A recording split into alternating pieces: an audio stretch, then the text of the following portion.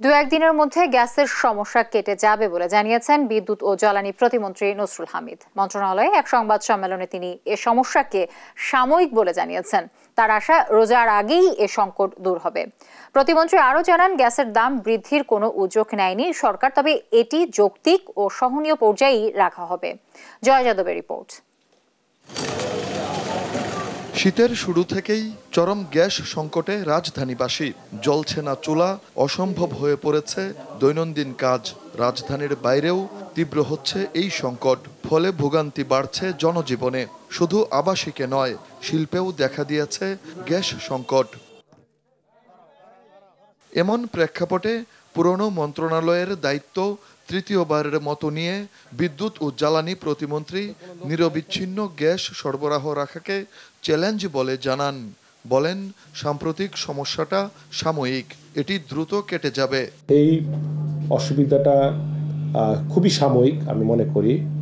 আর প্রচণ্ড শীতের কারণেও কিছুটা গ্যাসের প্রেশার কমে যায়। এফএসআরইউটা চলে আসছে।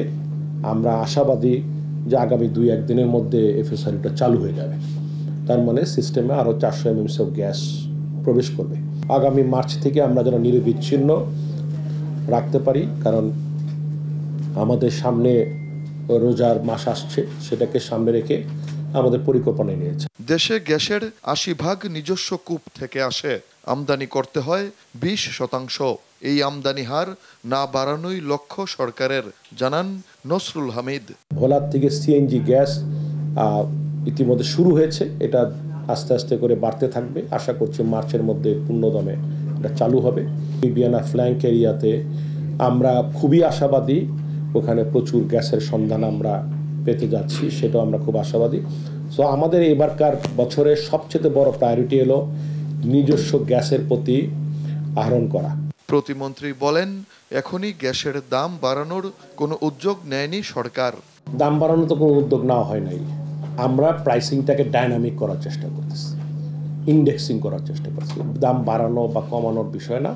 ডাইনামিক প্রাইস কমে গেলে কমে যাবে। বাট একটা বিষয় আমরা রাখতেছি যে এটার জন্য অ্যাডজাস্টমেন্টটা কন্টিনিউ থাকে। তো সেই জায়গায় যাতে এবং সেটাকে আবার সহনীয় পর্যায়ে রাখতে হবে। খালি বাড়ালেও হবে না। এটা মানুষের সহনীয় পর্যায়ে করতে হবে। এই বিষয়গুলো মাথায় নিয়ে আমরা কাজ করতেছি। এখনও আমরা কোনো সিদ্ধান্ত নিই নাই।